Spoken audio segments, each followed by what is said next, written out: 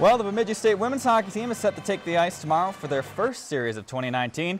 They've shaken off the rust in practice and are ready to go against Union, a non-conference opponent who enters the game with just two wins on the season. But the team knows that they can't take anyone for granted.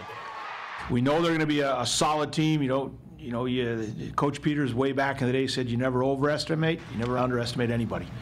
And that's a great message. You, you just got to go out and play your game, and regardless of who, of who the opponents are, uh, it's going out there and playing Beaver hockey. They still have some good skilled players and we can't take them lightly.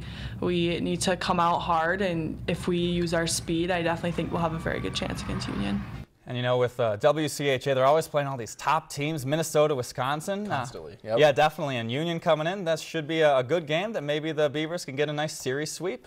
Good games and uh, more to come with Hockey Day Minnesota coming up. Uh, boards are going up, the rink's going in. I mean, Everybody's lots of action happening. So.